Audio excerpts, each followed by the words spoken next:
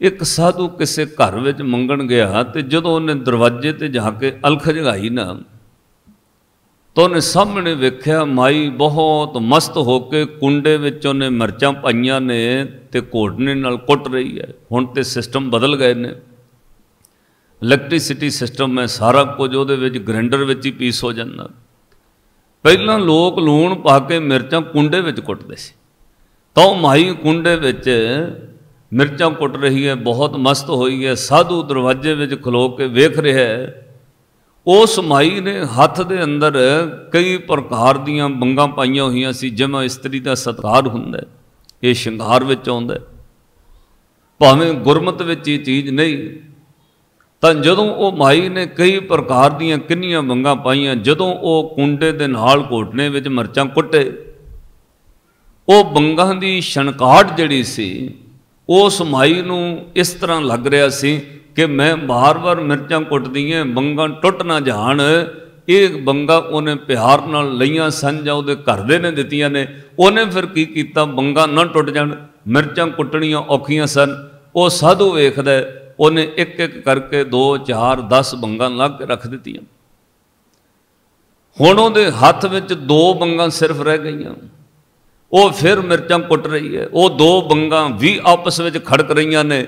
ਕਹਿੰਦੇ ਨੇ, ਸਾਧੂ ਵੇਖ ਰਿਹਾ ਉਹਨੇ ਉਹਦੇ ਵਿੱਚੋਂ ਵੀ ਇੱਕ ਬੰਗ ਲਾ ਦਿੱਤੀ। ਸਾਰੀਆਂ ਬੰਗਾਂ ਹੱਥ ਵਿੱਚੋਂ ਲਾਣੀਆਂ ਉਹਦੇ ਮਨ ਵਿੱਚ ਐ ਸੀ, ਇਹ ਮੇਰੇ ਸੁਹਾਗ ਦਾ ਸ਼ਿੰਗਾਰ ਹੈ। ਸਾਰੀਆਂ ਕਿਵੇਂ ਲਾਦਾ ਉਹਨੇ ਬੰਗਾਂ ਲਾ ਦਿੱਤੀਆਂ। ਇੱਕ ਬੰਗ ਹੱਥ ਵਿੱਚ ਰਹਿ ਗਈ, ਤਾਂ ਫਿਰ ਜਦੋਂ ਮਰਚਾਂ ਕੁੱਟ ਰਹੀ ਹੈ, ਉਹ ਬੰਗ ਖੜਕ ਨਹੀਂ ਸੀ ਰਹੀ। ਕਿਉਂਕਿ ਇਕੱਲੀ ਨਹੀਂ ਖੜਕੇਗੀ। ਇੱਕ ਬੰਗ ਤਾਂ ਹੱਥ ਵਿੱਚ ਖੜਾਟ, ਛਣਕਾਟ ਨਹੀਂ ਕਰੇਗੀ। ਤਾਂ ਉਹਨਾਂ ਹੱਥਾਂ ਨਾਲ ਫਿਰ ਕੁੰਡੇ ਨਾਲੋਂ ਮਰਚਾਂ ਕੁੱਟ ਰਹੀ ਹੈ। ਸਾਧੂ ਵੇਖ ਰਿਹਾ ਉਹਨੇ ਵੇਖ ਕੇ ਇਸੇ ਗੱਲ ਤੋਂ ਇੱਕ ਸਿੱਖਿਆ ਧਾਰਨ ਕਰ ਲਈ। ਜਦੋਂ ਨੇ ਉੱਚੀ ਅਲਖ ਜਗਾਈ, ਉਹ ਮਾਈ ਨੇ ਆਪਣੀਆਂ ਮਰਚਾਂ ਕੁੱਟਦਿਆਂ ਛੱਡ ਕੇ ਲਿਆ ਕੇ ਆਟਾ ਪਾਇਆ ਤੇ ਨਾਲ ਕਹਿੰਦੀ, ਬਾਬਾ, ਮੇਰੇ ਘਰ ਵਿੱਚ ਸੁੱਖ ਹੋਵੇ, ਕੋਈ ਅਸ਼ੀਰਵਾਦ ਦੇ ਕੇ ਜਾ। ਤੇ ਉਸ ਬਾਬੇ ਨੇ ਇੱਕੋ ਗੱਲ ਕਹੀ ਫਕੀਰ ਨੇ, ਕਹਿਣ ਲੱਗਾ, ਮਾਈ ਤੈਨੂੰ ਮੈਂ ਕੀ ਅਸ਼ੀਰਵਾਦ ਦੇਣਾ ਮੈਂ ਤਾਂ ਤੇਰੇ ਕੋਲੋਂ ਕੁਝ ਸਿੱਖ ਕੇ ਚੱਲਣਾ ਉਹਨੇ ਕਿਹਾ, ਬਾਬਾ, ਮੈਂ ਤੇ ਬੋਲਿਆ ਹੀ ਕੁਝ ਨਹੀਂ। ਮੇਰੇ ਕੋਲੋਂ ਕੀ ਸਿੱਖਿਆ ਕਹਿਣ ਲੱਗਾ, ਭੈਣੇ, ਕਦੋਂ ਦਾ ਮੈਂ ਵੇਖ ਰਿਹਾ ਤੇਰੇ ਹੱਥ ਦੀਆਂ ਬੰਗਾਂ ਛਣਕ ਰਹੀਆਂ ਸੀ। ਤੂੰ ਇੱਕ ਇੱਕ ਦੋ ਦੋ ਕਰਕੇ ਲਾ ਦਿੱਤੀਆਂ। ਹੱਥ ਵਿੱਚ ਕੋਈ ਬੰਗ ਰਹਿ ਗਈ। ਮਰਚਾਂ ਕੁੱਟਦਿਆਂ ਹੁਣ ਇੱਕ ਬੰਗ ਖੜਕੀ ਨਹੀਂ। ਸਭ ਖੜਾਕਾ ਖਤਮ ਹੋ ਗਿਆ। ਇਹੋ ਸਿੱਖਣ ਵਿੱਚ ਮੈਂ ਸਿੱਖਿਆ ਲੈ ਲਈ। ਜਿੰਨੀ ਦੇਰ ਬੰਦੇ ਦੇ ਮਨ ਵਿੱਚ ਦਵੈਸ਼ ਹੈ ਉਨੀ ਦੇਰ ਝਗੜਾ, ਕਲੇਸ਼, ਕੱਲ, ਕਲੇਸ਼ ਸਭ ਕੁਝ ਰਹਿੰਦਾ ਜਿੱਦਣ ਸਭ ਕੁਝ ਛੱਡ ਕੇ ਇੱਕ ਨਾਲ ਜੁੜ ਜਾਏ ਉਦਣ ਉਹਦੇ ਘਰ ਦਾ ਖੜਾਕ, ਕਲੇਸ਼ ਖਤਮ ਹੋ ਜਾਂਦਾ। ਭਾਈ, ਤੇਰੇ ਮਨ ਅੰਦਰ ਇਹ ਤਾਈਓ ਦੁਬਦਾ ਕਰਕੇ, ਮਨ ਵਿੱਚ ਦੁਬਦਾ ਹੈ ਤੇ ਮਨ ਮਲੀਨ ਹੈ। ਇਹ ਬੁਰੇ ਪਾਸੇ ਤੁਰਦਾ ਜਿੱਦਣ ਇੱਕ ਉੱਤੇ ਵਿਸ਼ਵਾਸ ਟਿਕ ਗਿਆ ਉਦਣ ਜੋ ਉਹ ਦਵੇ ਸਾਧ ਸੰਗਤ, ਇੱਕ ਅਕਾਲ ਪੁਰਖ ਰੱਬ ਤੇ ਵਿਸ਼ਵਾਸ ਬਣਦਾ ਫਿਰ ਮਨ ਬਹਿਮਾ ਭਰਮਾਂ ਵਿੱਚ ਦੁਖੀ ਨਹੀਂ ਹੁੰਦਾ। ਇਹ ਦਾਤੇ ਦੇ ਦਿੱਤੇ ਸੁੱਖਾਂ ਵਿੱਚ ਵੀ ਸੁਖੀ ਹੈ, ਫਿਰ ਦੁੱਖ ਵਿੱਚ ਵੀ ਸੁਖੀ ਰਹਿਣ ਲੱਗ ਪੈਂਦਾ। ਮਾਈ, ਮੈਂ ਤਾਂ ਤੇਰੇ ਤੋਂ ਸਿੱਖਿਆ ਇੱਕ ਵੰਗ ਰਹਿ ਜਾਏ ਤੇ ਖੜਾਕ ਮੁੱਕ ਜਾਂਦਾ ਰੱਬ ਇੱਕ ਪਰਮਾਤਮਾ ਨਾਲ ਕਿਸੇ ਦੀ ਸੁਰਤ ਜੁੜ ਜਾਏ, ਉਹਦੇ ਜੀਵਨ ਦੇ ਝਮੇਲੇ ਮੁੱਕ ਜਾਂਦੇ ਨੇ। ਤਾਈਓ ਸਾਹਿਬ ਨੇ ਕਿਹਾ, ਇੱਕੋ ਜਪ ਏਕੋ ਸਾਲਾਹ, ਇੱਕ ਨੂੰ ਜਪਿਆ ਕਰ, ਇੱਕ ਦੀ ਸਿਫਤ ਸਲਾਹ ਕਰ ਏਕੋ ਜਪ ਏਕੋ ਸਲਾ ਏਕ ਸਿਮਰ ਏਕੋ ਮਨ ਆਹ। ਏਕ ਸਕੇ ਗੁਣ ਗਾਓ ਅਨੰਤ, ਮਨ ਤਨ ਜਾਪ ਏਕ ਭਗਵੰਤ। ਭਾਈ ਮਨ ਕਰਕੇ, ਤਨ ਕਰਕੇ, ਇੱਕ ਨੂੰ ਸਿਮਰ, ਤੇਰੇ ਕਲ ਕਲੇਸ਼ ਮਿਟ ਜਾਣਗੇ। ਸ੍ਰੀ ਗੁਰੂ ਨਾਨਕ ਸਾਹਿਬ ਮਹਾਰਾਜ ਜਦੋਂ ਸਮੇਰ ਪਰਬਤ ਤੇ ਗਏ, ਜੋਗੀ ਬੜੇ ਹੈਰਾਨ ਹੋਏ। ਉਹਨਾਂ ਕਿਹਾ, ਗੁਰੂ ਨਾਨਕ ਸਾਹਿਬ ਮਹਾਰਾਜ ਆਏ ਨੇ। ਇਹ ਉਮਰ ਵਿੱਚ ਸਾਡੇ ਤੋਂ ਛੋਟੇ ਨੇ। ਪਰ ਇਸ ਦਾ ਪ੍ਰਤਾਪ ਬਹੁਤ ਵੱਡਾ ਹੈ। ਸ੍ਰੀ ਗੁਰੂ ਨਾਨਕ ਸਾਹਿਬ ਮਹਾਰਾਜ ਸਮੇਰ ਪਰਬਤ ਜਾਣ ਤੋਂ ਪਹਿਲਾਂ ਉਸ ਜਗ੍ਹਾ ਤੇ ਗਏ ਜਿਹਨੂੰ ਗੋਰਖਨਾਥ ਦਾ ਇਲਾਕਾ ਮੰਨਦੇ ਸੀ। ਉੱਥੋਂ ਦੇ ਲੋਕ ਗੋਰਖ ਦੀ ਮਤ ਨਾਲ ਚੱਲਦੇ ਸੀ। ਰਿਧੀਆਂ ਸਿਧੀਆਂ ਕਰਾਂ ਮਤਾਂ ਨਾਲ ਲੋਕਾਂ ਨੂੰ ਝੁਕਾਇਆ ਹੋਇਆ ਸੀ। ਜੇ ਕੋਈ ਪੂਜਾ ਨਾ ਕਰੇ, ਕੋਈ ਦਾਨ ਨਾ ਦਵੇ, ਉਹਨਾਂ ਤੇ ਕੋਈ ਚੀਜ਼ ਛੱਡ ਦੇਣੀ, ਉਹਨਾਂ ਨੂੰ ਡਰਾ ਕੇ ਪੂਜਾ ਕਰਾ ਰਹੇ ਸੀ। ਸ੍ਰੀ ਗੁਰੂ ਨਾਨਕ ਸਾਹਿਬ ਮਹਾਰਾਜ ਉਸ ਧਰਤੀ ਤੇ ਗਏ। ਕੁਝ ਦਿਨ ਰਹਿ ਕੇ ਮਹਾਰਾਜ ਨੇ ਇੱਕ ਨਾਲ ਲੋਕਾਂ ਨੂੰ ਜੋੜਿਆ। ਸਹਿਜੇ ਸਹਿਜੇ ਮਨ ਵਿੱਚੋਂ ਭੈ ਮਿਟ ਗਏ। ਗੋਰਖ ਦੀ ਮਤ ਛੱਡ ਕੇ ਲੋਕ ਗੁਰੂ ਨਾਨਕ ਦੀ ਮਤ ਨਾਲ ਜੁੜ ਗਏ। ਜਿੱਦਣ ਗੁਰੂ ਨਾਨਕ ਸਾਹਿਬ ਦੀ ਮਤ ਮੰਨਣ ਲੱਗ ਪਏ ਉਦਣ ਗੋਰਖ ਦੀ ਮਤ ਲੋਕਾਂ ਨੂੰ ਭੁੱਲ ਗਈ ਤੇ ਸਾਧ ਸੰਗਤ, ਉਹ ਟਿੱਲਾ ਗੋਰਖ ਦਾ ਫਿਰ ਇਲਾਕਾ ਗੋਰਖ ਮਤਾ ਨਹੀਂ ਰਿਹਾ। ਉਹਦੇ ਇਤਿਹਾਸ ਵਿੱਚ ਨਾਮ ਪੈ ਗਿਆ ਗੁਰੂ ਨਾਨਕ ਮਤਾ। ਕਿਉਂਕਿ ਗੋਰਖ ਦੀ ਮਤ ਖਤਮ ਕਰਤੀ। ਸਿਰਫ ਗੁਰੂ ਨਾਨਕ ਸਾਹਿਬ ਮਹਾਰਾਜ ਦੀ ਮਤ ਉੱਥੇ ਲੋਕ ਮੰਨਣ ਲੱਗ ਪਏ, ਜਿਹਨੇ ਗੋਰਖ ਦੀ ਮਤ ਮੁਕਾ ਕੇ ਗੁਰੂ ਨਾਨਕ ਨੇ ਆਪਣੀ ਮਤ ਲੋਕਾਂ ਨੂੰ ਦੇ ਦਿੱਤੀ। ਉਹ ਇਲਾਕੇ ਦਾ ਨਾਮ ਪੈ ਗਿਆ ਗੁਰੂ ਨਾਨਕ ਮਤਾ। ਅੱਜ ਵੀ ਉਹ ਸਥਾਨ ਹੈ ਯੂਪੀ ਵਿੱਚ। ਉੱਤਰਾਖੰਡ ਦੇ ਬਾਰਡਰ ਤੇ ਹੈ। ਉਹਨੂੰ ਗੋਰਖ ਮਤਾ ਬਦਲ ਕੇ ਅੱਜ ਨਾਨਕ ਮਤਾ ਜਗ੍ਹਾ ਜਦੋਂ ਮਹਾਰਾਜ ਉੱਥੋਂ ਸਵੇਰ ਪਰਬਤ ਤੇ ਗਏ, ਤਾਂ ਸਿੱਧ ਜੋਗੀਆਂ ਵੇਖਿਆ, ਉਹ ਬਾਬਾ ਆ ਗਿਆ ਜਿਹਨੇ ਇੰਨੀ ਛੋਟੀ ਉਮਰ ਵਿੱਚ ਗੋਰਖ ਦੀ ਮਤ ਖਤਮ ਕਰਕੇ ਆਪਣੀ ਮਤ ਲੋਕਾਂ ਵਿੱਚ ਭਰ ਦਿੱਤੀ। ਇਹ ਜੇ ਇਹ ਜੋਗੀ ਇੰਨਾ ਪੜਿਆ ਲਿਖਿਆ ਕਰਾਮਤੀ ਸਾਡੇ ਪੰਥ ਵਿੱਚ ਆ ਜਾਏ, ਤਾਂ ਫਿਰ ਤਾਂ ਸਾਡਾ ਪੰਥ ਹੋਰ ਉਜਿਆਲਾ ਹੋ ਜਾਏਗਾ। ਚਾਰ ਛਪੇਰੇ ਲੋਕ ਜੋਗ ਮਤ ਨੂੰ ਮੰਨਣ ਲੱਗ ਜਾਣਗੇ, ਪਰ ਨਾਨਕ ਨੂੰ ਕਿਵੇਂ ਆਪਣੇ ਮਤ ਵਿੱਚ ਲਿਆਈਏ? ਸਿੱਧ ਜੋਗੀਆਂ ਵਿਚਾਰ ਕੀਤੀ ਜੇ ਅਸੀਂ ਕੋਈ ਲੋਕਾਂ ਨੂੰ ਗੱਲ ਦੱਸਾਂਗੇ, ਤਾਂ ਭਾਈ ਲੋਕ ਕਹਿਣਗੇ, ਤਾਂ ਵੱਡੀਆਂ ਉਮਰਾਂ ਦੇ ਨੇ, ਸਿਆਣਾ ਹੋ ਕੇ ਤਾਂ ਉਦਾਂ ਹੀ ਬੰਦੇ ਨੂੰ ਅਕਲ ਆ ਜਾਂਦੀ ਹੈ। ਜੇ ਗੁਰੂ ਨਾਨਕ ਗੱਲ ਕਰਨਗੇ, ਇਹ ਤਾਂ ਜੇ ਕੱਕੀ ਦੌੜੀ ਕਾਲੀ ਦਾੜੀ ਹੈ ਇਹਦੀ, ਕੱਕੀ ਕਾਲੀ ਦਾੜੀ ਹੈ 40 ਸਾਲ ਦੀ ਉਮਰ ਹੈ ਇਹਦੀ ਗੱਲ ਸੁਣ ਕੇ ਲੋਕ ਪ੍ਰਭਾਵਿਤ ਹੋਣਗੇ, ਜੋਗ ਮਤ ਵਧੇਗਾ, ਕਿਸੇ ਤਰ੍ਹਾਂ ਗੁਰੂ ਨਾਨਕ ਨੂੰ ਆਪਣੇ ਮਤ ਚ ਲਿਆਈਏ ਸਿੱਧਾਂ ਨੇ ਫਿਰ ਇੱਕੋ ਹੀ ਰਾਹ ਲੱਭਿਆ ਕਰਾਮਾਤ ਨਾਲ ਲੋਕਾਂ ਨੂੰ ਝੁਕਾ ਲਈਦਾ ਕਰਾਮਾਤ ਵਰਤ ਕੇ ਗੁਰੂ ਨਾਨਕ ਨੂੰ ਆਪਣੇ ਮਤ ਵਿੱਚ ਲੈ ਆਨੇ ਆ। ਇਹਨੂੰ ਕਰਾਮਾਤ ਵਿਖਾਈਏ, ਇਹ ਗ੍ਰਸਤੀ ਬੰਦਾ ਹੈ। ਗ੍ਰਸਤੀ ਬੰਦਾ ਸਭ ਤੋਂ ਪਹਿਲਾਂ ਮਾਇਆ ਉੱਤੇ ਭਰਮਦਾ ਹੈ। ਗ੍ਰਸਤੀ ਬੰਦੇ ਦਾ ਲਾਲਚ ਮਾਇਆ ਹੁੰਦੀ ਹੈ। ਗੁਰੂ ਨਾਨਕ ਨੂੰ ਆਪਣੀ ਮਾਇਆ ਵਿਖਾਉਨੇ ਆਪੇ ਸਾਡੇ ਹੋ ਜਾਣਗੇ। ਸਿੱਧ ਜੋਗੀਆਂ ਨੇ ਬਹਿ ਕੇ ਫਿਰ ਵਿਚਾਰ ਕੀਤੀ। ਅਲੱਗ ਬਹਿ ਕੇ ਉਹਨਾਂ ਮਤਾ ਪਕਾਇਆ। ਨਾਨਕ ਨੂੰ ਮਾਇਆ ਦਾ ਕਰਾਮਾਤ ਵਿਖਾਓ। ਭਾਈ ਗੁਰਦਾਸ ਸਾਹਿਬ ਲਿਖਦੇ, ਸਿੱਧੀ ਮਨੇ ਵਿਚਾਰਿਆ, ਕਿਵ ਦਰਸ਼ਨ ਲੈਵੇ ਬਲ। ਐਸਾ ਜੋਗੀ ਕਲੀ ਮੈਂ, ਹਮਰਾ ਪੰਥ ਕਰੇ ਉਜਾਲਾ। ਜੇ ਇਹ ਸਾਡੇ ਪੰਥ ਚ ਆ ਜਾਏ, ਫਿਰ ਤਾਂ ਉਜਾਲਾ ਕਰ ਦੇਗਾ ਸਾਡੇ ਪੰਥ ਦਾ। ਪਰ ਇਹਨੂੰ ਹੁਣ ਕਰਾਮਾਤ ਵਿਖਾਈਏ, ਤਾਂ ਹੀ ਮੱਥਾ ਟੇਕੇਗਾ। ਸਿੱਧ ਜੋਗੀਆਂ ਨੇ ਫਿਰ ਕੋਲ ਸੱਦ ਕੇ ਕਿਹਾ, ਬਾਬਾ ਨਾਨਕ ਅਸੀਂ ਆ ਡੇਢ ਡੇਢ 100 ਸਾਲ ਦੀ ਉਮਰ ਦੇ ਜੋਗੀ। ਸਾਡੀਆਂ ਉਮਰਾਂ ਬਹੁਤ ਨੇ, ਸਾਡੀਆਂ ਜਟਾਵਾਂ ਦੇਖ, ਸਾਡੇ ਚਿੱਟੇ ਰੰਗ ਦੇ ਕੇਸ ਅੱਖਾਂ ਦੀਆਂ ਭੰਮੜੀਆਂ ਚਿੱਟੇ। ਡੇਢ ਡੇਢ 100 ਸਾਲ ਦੀ ਉਮਰ ਤੋਂ ਟੱਪ ਗਏ ਆ। ਸਾਡੇ ਕੋਲ ਰਿਧੀਆਂ ਸਿਧੀਆਂ ਕਰਾਮਾਤਾਂ ਬਹੁਤ ਕੁਝ ਹੈ ਤੂੰ ਸਾਡੇ ਸਾਹਮਣੇ ਉਮਰ ਛੋਟੀ ਹੈ ਚੱਲ ਬਾਕੀ ਗੱਲ ਬਾਅਦ ਵਿੱਚ। ਪਹਿਲਾਂ ਤੂੰ ਸਾਡੀ ਕੋਈ ਸੇਵਾ ਕਰ। ਮਹਾਰਾਜ ਨੇ ਕਿਹਾ, ਦੱਸੋ ਭਾਈ, ਅਸੀਂ ਗੁਰਮੁਖਾਂ ਦੀ ਸੇਵਾ ਵਾਸਤੇ ਤੁਰੇ ਹੋਏ ਹਾਂ। ਸਤਿਗੁਰਾਂ ਬੜੀ ਨਿਮਰਤਾ ਨਾਲ ਕਿਹਾ, ਗੁਰਮੁਖਾਂ ਦੀ ਸੇਵਾ ਵਾਸਤੇ ਤੁਰੇ ਹੋਏ। ਅਸੀਂ ਗੁਰਮੁਖਾਂ ਦੀ ਭਾਲ ਕਰ ਰਹੇ ਹਾਂ। ਤਾਂ ਉਹ ਸਿੱਧ ਜੋਗੀਆਂ ਇੱਕ ਕਟੋਰਾ ਦਿੱਤਾ ਤੇ ਕਹਿੰਦੇ, ਲੈ ਬਾਬਾ, ਉਹ ਨਦੀ ਪਾਣੀ ਦੀ ਵਗਦੀ ਹੈ, ਭਰ ਕੇ ਲਿਆ। ਗੁਰੂ ਨਾਨਕ ਸਾਹਿਬ ਮਹਾਰਾਜ ਚਲੇ ਗਏ। ਮੈਂ ਅੱਗੇ ਵੀ ਇਹ ਬੇਨਤੀ ਕੀਤੀ, ਜਦੋਂ ਉਹ ਨਦੀ ਦੇ ਕੋਲ ਗਏ ਤੇ ਸ੍ਰੀ ਗੁਰੂ ਨਾਨਕ ਸਾਹਿਬ ਮਹਾਰਾਜ ਕਟੋਰਾ ਲੈ ਕੇ ਨਦੀ ਦੇ ਕੋਲ ਪਹੁੰਚ ਗਏ, ਜਾ ਕੇ ਵੇਖਿਆ ਉੱਥੇ ਪਾਣੀ ਤੇ ਹੈ ਹੀ ਨਹੀਂ ਨਦੀ ਵਿੱਚ।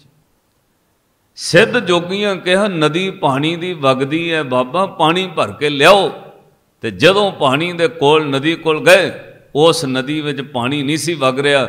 ਉਸ ਨਦੀ ਵਿੱਚ ਹੀਰੇ ਮੋਤੀ, ਜਵਾਹਰਾਤ ਸੋਨੇ ਦੀ ਨਦੀ ਭਰੀ ਜਾ ਰਹੀ ਹੈ। ਹੀਰੇ ਮੋਤੀ ਨਦੀ ਵਿੱਚ ਰੁੜੇ ਜਾ ਰਹੇ ਨੇ। ਹੀਰੇ ਮੋਤੀਆਂ ਲਾਲਾਂ ਦੀ ਨਦੀ ਵਗ ਰਹੀ ਸੀ। ਗੁਰੂ ਨਾਨਕ ਸਾਹਿਬ ਮਹਾਰਾਜ ਨੇ ਵੇਖਿਆ ਤੇ ਖਾਲੀ ਵਾਪਸ ਆ ਗਏ। ਸਿੱਧ ਜੋਗੀ ਕਹਿੰਦੇ, ਮਹਾਰਾਜ, ਪਾਣੀ ਨਹੀਂ ਲਿਆਂਦਾ ਗੁਰੂ ਨਾਨਕ ਜੀ। ਸਤਿਗੁਰੂ ਕਹਿੰਦੇ, ਭਾਈ, ਉੱਥੇ ਪਾਣੀ ਹੈ ਹੀ ਨਹੀਂ ਸੀ।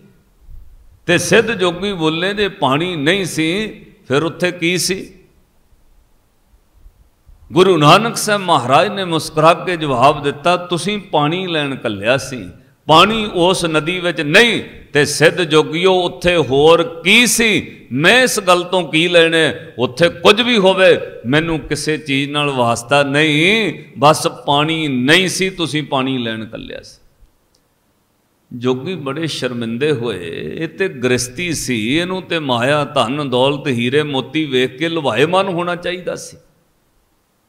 ਪਰ ਉਹਨਾਂ ਜੋਗੀਆਂ ਨੂੰ ਇਸ ਗੱਲ ਦਾ ਪਤਾ ਨਹੀਂ ਸੀ, ਜਿਹੜੇ ਬਾਬੇ ਨੂੰ ਹੀਰੇ ਮੋਤੀ ਜਵਾਹਰਾਤ ਤੁਸੀਂ ਵਿਖਾ ਕੇ ਪਟਕਾਣਾ ਚਾਹੁੰਦੇ ਹੋ, ਇਹ ਗੁਰੂ ਨਾਨਕ ਸਾਹਿਬ ਕੋਈ ਆਮ ਸਰੀਰਕ ਵਿਅਕਤੀ ਨਹੀਂ, ਇਹ ਤਾਂ ਗੁਰੂ ਨਾਨਕ ਕਲਯੁਗ ਦੇ ਰੱਬ ਨੇ, ਇਸ ਗੁਰੂ ਨਾਨਕ ਨੇ ਤਾਂ ਕਈ ਵਰੇ ਪਹਿਲਾਂ ਸਿੱਖਾਂ ਨੂੰ ਕਹਿ ਦਿੱਤਾ ਕਿ ਮੋਤੀ ਤਾਂ ਮੰਦਰ ਉਸਰੇ, ਰਤਨੀ ਤਾਂ ਹੋਏ ਜੜਾਓ। ਸਤਿਗੁਰੂ ਗੁਰੂ ਨਾਨਕ ਸਾਹਿਬ ਮਹਾਰਾਜ ਨੂੰ ਭਾਈ ਗੁਰਦਾਸ ਸਾਹਿਬ ਲਿਖਦੇ, ਖੱਪਰ ਦਿੱਤਾ ਨਾਥ ਜੀ। ਖੱਪਰ ਕਹਿੰਦੇ, ਕਟੋਰਾ ਜਿਹੜਾ ਉਹਨੇ ਰੱਖਿਆ ਹੁੰਦਾ। ਉਹ ਖੱਪਰ ਦਿੱਤਾ, ਕਹਿੰਦੇ, ਪਾਣੀ ਲੈ ਕੇ ਆਓ।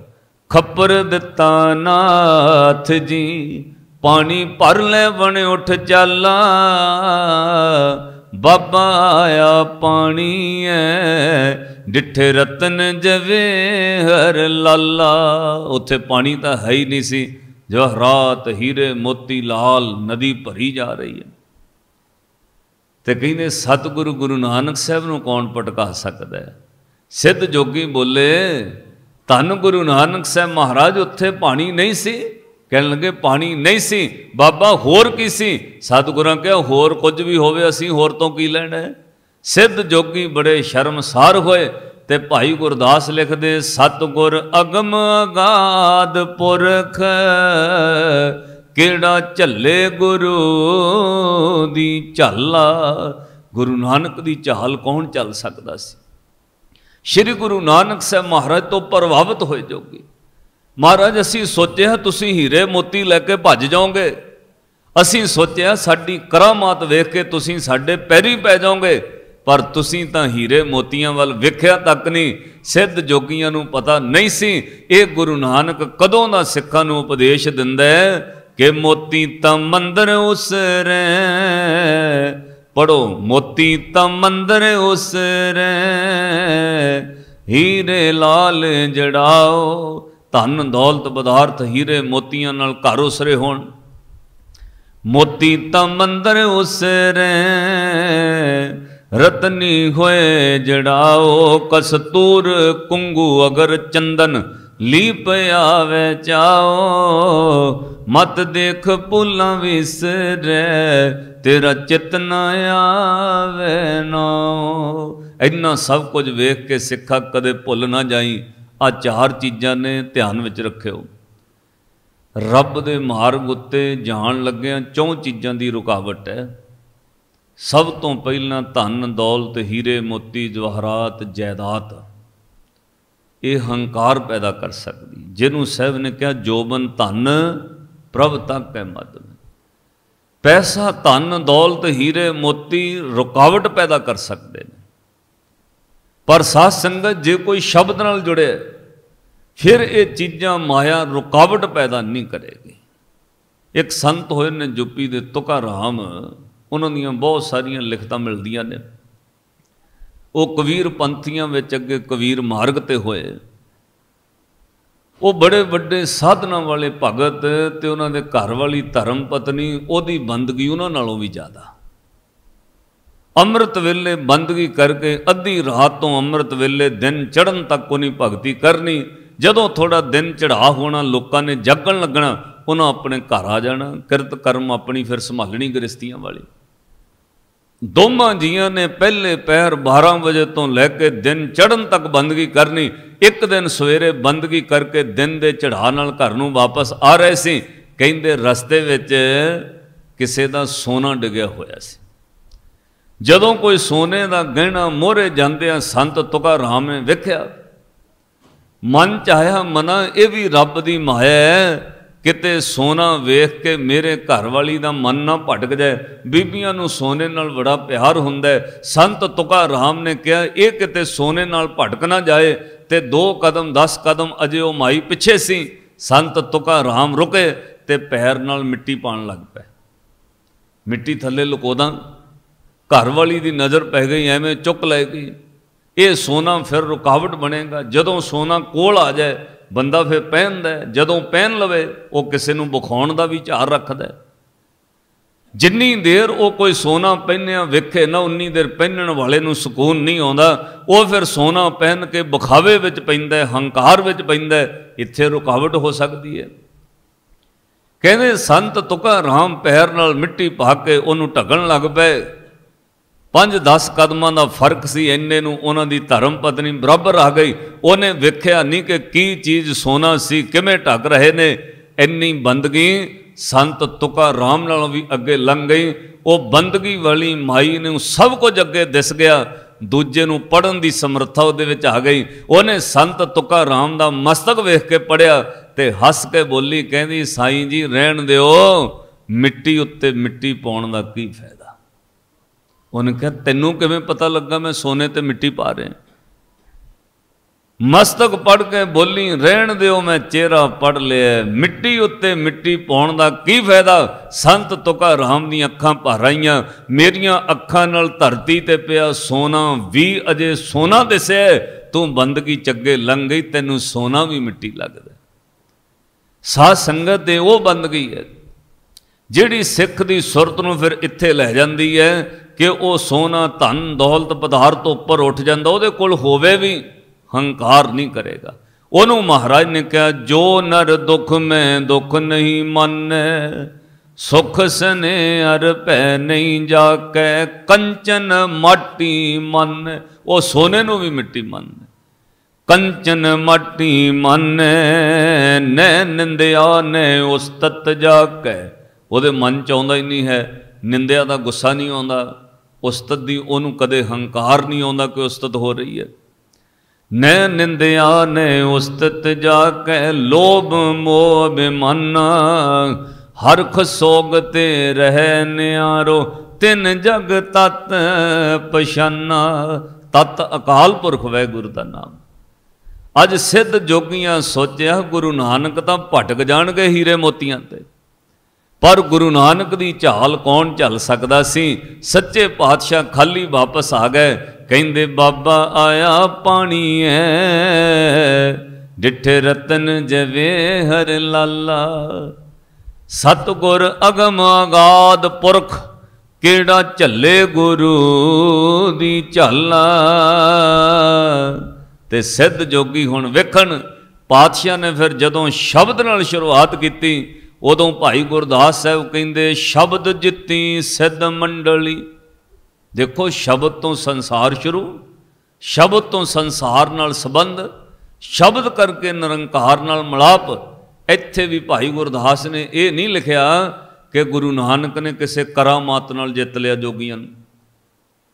ਉਹ ਸਿੱਧ ਜੋਗੀ ਕਹਿੰਦੇ, ਬਾਬਾ, ਤੇਰੇ ਮਨ ਤੇ ਅਸਰ ਨਹੀਂ ਹੋਇਆ ਹੀਰੇ, ਮੋਤੀ, ਜਵਾਹਰਾਤ, ਰਤਨ ਦੇਖ ਕੇ ਤੇਰੇ ਮਨ ਭਟ ਗਿਆ ਨਹੀਂ ਦੁਨਿਆਵੀ ਗ੍ਰਸਤੀ ਲੋਕਾਂ ਦਾ ਤਾਂ ਮਨ ਭਟਕ ਜਾਂਦਾ ਹੈ।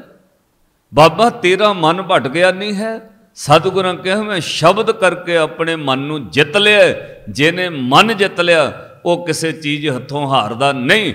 ਆਈ ਪੰਥੀ ਸਗਲ ਜਮਾਤੀ, ਮਨ ਜੀਤੈ ਜਗ ਜੀਤ, ਤੇ ਸਿੱਧ ਜੋਗੀ ਗੁਰੂ ਨਾਨਕ ਦੇ ਹੱਥੋਂ ਹਾਰ ਗਏ। ਭਾਈ ਗੁਰਦਾਸ ਸਾਹਿਬ ਲਿਖਦੇ, ਸ਼ਬਦ ਜਿੱਤੀ ਸਿੱਧ ਮੰਡਲੀ। ਕੀ ਤੁਸ ਆਪਣਾ ਪੰਥ ਨਿਰਾਲਾ? ਕਲ ਜੁਗ ਨਾਨਕ ਨਾਮ ਸੁਖਾਲਾ।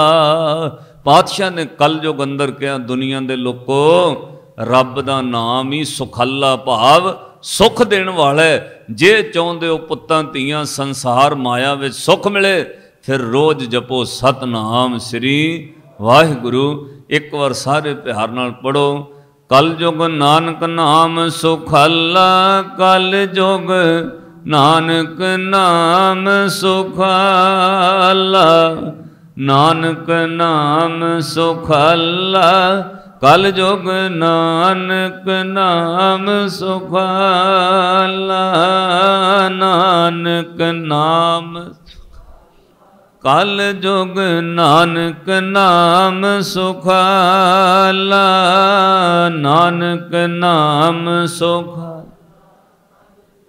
ਨਾਨਕ ਨਾਮ ਸਤਗੁਰ ਅਗਮ ਅਗਾਧ ਪੁਰਖ, ਸਤਗੁਰ ਅਗਮ ਅਗਾਧ ਪੁਰਖ, ਸਤਗੁਰ ਅਗਮ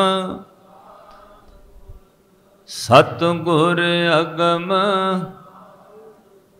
ਕਿਹੜਾ ਝੱਲੇ ਗੁਰੂ ਦੀ ਚਾਲਾ ਕਲ ਜੁਗ ਨਾਨਕ ਨਾਮ ਸੁਖਾਲਾ, ਨਾਨਕ ਨਾਮ ਸੁਖਾਲਾ, ਕਲ ਜੁਗ ਨਾਨਕ ਨਾਮ ਸੁਖਾਲਾ, ਨਾਨਕ ਨਾਮ ਕਲ ਜੁਗ ਨਾਨਕ ਨਾਮ ਸੁਖਾਲਾ, ਨਾਨਕ ਨਾਮ ਨਾਨਕ ਨਾਮ ਸੁ। ਭਾਈ ਨਾਮ ਕਲਯੁਗ ਵਿੱਚ ਸੁਖ ਦੇਣ ਵਾਲਾ ਹੈ। ਇਹ ਕਲਯੁਗ ਦਾ ਪ੍ਰਤਾਪ ਇੰਨਾ ਵੱਧ ਗਿਆ ਤੁਸੀਂ ਪੜ੍ਹੇ ਲਿਖੇ ਸੱਜਣ ਬੈਠੇ ਹੋ, ਧਨ, ਦੌਲਤ, ਪੈਸਾ, ਪਦਾਰਥ ਲੋਕਾਂ ਨੂੰ ਸੁੱਖ ਨਹੀਂ ਦੇ ਰਿਹਾ। ਆ ਤੁਹਾਡੇ ਸਾਹਮਣੇ ਹੁਣ ਫਿਰ ਥੋੜੇ ਦਿਨ ਪਹਿਲਾਂ ਅਰਬਾਂ ਦੀ ਜਾਇਦਾਦ ਛੱਡ ਕੇ ਬਾਲੀਵੁੱਡ ਦਾ ਉਹ ਬੰਦਾ ਆਤਮ ਹੱਤਿਆ ਕਰ ਗਿਆ, ਜਿਹਨੂੰ ਸਾਧ ਸੰਗਤ ਸਿਧਾਰਥ ਸ਼ੁਕਲਾ ਕਹਿੰਦੇ ਧਨ, ਦੌਲਤ, ਪਦਾਰਥ, ਉਹਦਾ ਹੁਣ ਰੀਜਨ ਭਾਵੇਂ ਹੋਰ ਕੁਝ ਵੀ ਨਿਕਲੇ, ਇਹ ਸੰਸਾਰ ਵਿੱਚ ਵੱਡੇ ਵੱਡੇ ਲੋਕਾਂ ਨੂੰ ਵੱਡੀਆਂ ਚਿੰਤਾਵਾਂ ਨੇ। ਜੇ ਹੁਣ ਉਹ ਡਾਕਟਰ ਕਹਿ ਰਹੇ ਜੀ ਉਹਨੂੰ ਅਟੈਕ ਹੋ ਗਿਆ ਕਾਦੀ ਚਿੰਤਾ ਨਾਲ? ਜਿਹੜੀ ਗੱਲ ਸਾਹਿਬ ਨੇ ਸਾਨੂੰ ਲਿਖ ਕੇ ਸਮਝਾਇਆ ਕਿ ਜਿਸ ਗ੍ਰਹਿ ਬਹੁਤ ਤਿਸੇ ਗ੍ਰਹਿ ਚਿੰਤਾ। ਨਾ ਮਾਇਆ ਬਹੁਤ ਜ਼ਿਆਦਾ ਹੋਣੀ ਚਾਹੀਦੀ ਹੈ, ਨਾ ਮਾਇਆ ਬਹੁਤੀ ਘੱਟ ਹੋਣੀ ਚਾਹੀਦੀ ਹੈ। ਜਿਹਦੇ ਕੋਲ ਨਾਮੀ ਹੋਵੇ ਉਹ ਵੀ ਚਿੰਤਾ ਵਿੱਚ ਹੈ। ਜਿਹਦਾ ਪੂਰਾ ਨਾ ਪਵੇ ਉਹ ਵੀ ਵਿਚਾਰਾ ਚਿੰਤਾ ਵਿੱਚ ਹੈ। ਜਿਹਦੇ ਕੋਲ ਬਹੁਤ ਜ਼ਿਆਦਾ ਉਹ ਤੁਹਾਡੇ ਨਾਲੋਂ ਵੀ ਜ਼ਿਆਦਾ ਦੁਖੀ ਹੋਏਗਾ। ਜਿਸ ਗ੍ਰਹਿ ਬਹੁਤ ਤਿਸੇ ਗ੍ਰਹਿ ਚਿੰਤਾ। ਜਿਸ ਗ੍ਰਹਿ ਥੋਰੀ, ਸੋ ਫਿਰੇ ਪਰਮੰਤ ਉਹ ਭਟਕਦਾ ਫਿਰਦਾ ਕਿ ਬਿੱਲ ਕਿਵੇਂ ਦੇਣੇ ਨੇ, ਫੀਸਾਂ ਕਿਵੇਂ ਭਰਨੀਆਂ ਨੇ। ਤੇ ਮਹਾਰਾਜ, ਸੁਖੀ ਕੌਣ ਹੈ? ਫਿਰ ਸਤਿਗੁਰਾਂ ਕਿਹਾ, ਦੋਹੂ ਬਿਵਸਥਾ ਤੇ ਜੋ ਮੁਕਤਾ। ਜਿਹਦੇ ਕੋਲ ਨਾ ਬਹੁਤੀ ਹੈ, ਨਾ ਥੋੜੀ ਹੈ, ਉਹਦੇ ਖਰਚੇ ਪੂਰੇ ਚੱਲ ਰਹੇ ਨੇ। ਪਰਿਵਾਰ ਵਿੱਚ ਤੰਦਰੁਸਤੀ, ਉਹ ਸ਼ੁਕਰਾਨਾ ਕਰੇ। ਸਤਨਾਮ ਸ੍ਰੀ ਵਾਹਿਗੁਰੂ। ਕਿਉਂ? ਉਹ ਦੋਵਾਂ ਚੀਜ਼ਾਂ ਤੋਂ ਮੁਕਤ ਹੈ। ਦੋਹੂ ਬਿਵਸਥਾ ਤੇ ਜੋ ਮੁਕਤਾ ਸੋਈ ਸੋਹਿਲਾ ਭਾਲੀ ਹੈ ਭਾਈ, ਉਹ ਸੁਖੀ ਹੈ ਜਿਹਦੇ ਕੋਲ ਨਾ ਬਹੁਤੀ ਤੇ ਨਾ ਥੋੜੀ ਉਹਦੇ ਖਰਚ ਪੂਰੇ ਹੋ ਰਹੇ ਨੇ।